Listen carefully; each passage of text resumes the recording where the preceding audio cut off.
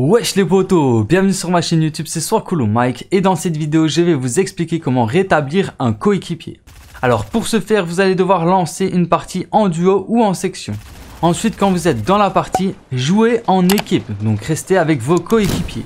Dès qu'un coéquipier tombe et qu'il est en PLS, laissez-le mourir, comme ça vous allez pouvoir récupérer sa plaque de réanimation.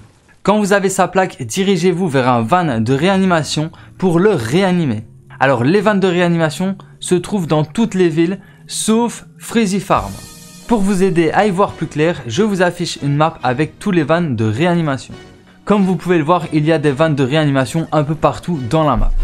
Donc dès que vous aurez réanimé une personne, vous aurez terminé ce défi. Voilà qui termine cette vidéo, j'espère qu'elle vous aura été utile. Si c'est le cas, n'hésitez pas à liker, à partager et à vous abonner si ce n'est pas encore déjà fait. Et sur ce, moi je vous dis à très bientôt pour plus de vidéos. C'était soit cool et ciao. Peace